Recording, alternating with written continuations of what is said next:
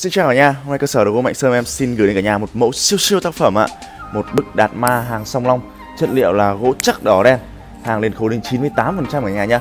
Sản phẩm được chế tác hoàn toàn thủ công bằng tay Và đục tứ diện cực kỳ sắc nét và kênh bong luôn ạ. Sản phẩm có chiều cao là 17, cao 1m17 ạ, chiều rộng 43 Và chiều sâu là 22 phân ạ. Gỗ cực kỳ đẹp cả nhà nhá. Và ngay bây giờ em sẽ đưa camera lại gần để các bác thấy được hết độ sắc nét của tác phẩm này ạ. Đầu tiên là diện mặt của ngài Đạt Ma đây. Cực kỳ dữ dằn cả nhà nhá. Cực kỳ dữ dằn ạ. Đó. Trong phong thủy thì diện mặt của Đạt Ma càng dữ Thì chân trạch trừ tà càng tốt đấy ạ. Các thấy là nét đục mặt, Từng cái khóm dâu, Sống mũi làm cực kỳ tuyệt vời luôn ạ. Đây, cái bản áo làm rất là bay. Đặc biệt là vân gỗ chắc ạ. Vân gỗ chắc nhìn cực mê luôn. Đó, tòm gỗ rất là mịn ạ.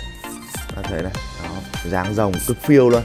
Dáng rồng cực phiêu luôn ạ. Dáng rồng uốn lượn rất là đẹp, rất là đẹp. Đây ạ. Hai chú rồng đạt ma hàng song long. Rồng trong phong thủy mang một ý nghĩa đó là biểu trưng cho sức mạnh ạ. Đằng sau đây. Đằng sau cực lét luôn các bác nhá. Đằng sau cực lét luôn.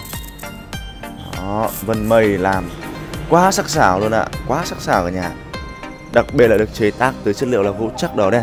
Một trong những dòng gỗ quý hiếm bậc nhất thị trường bây giờ rồi rất là tuyệt vời cả nhà và để có giá tốt nhất của siêu phẩm này, thì cả nhà vui lòng liên hệ cơ sở đồ gỗ mạnh sơn em qua hai số điện thoại 083 từ quý 5567 hoặc 0345 72 từ quý 6 ạ. Em xin chào cả nhà.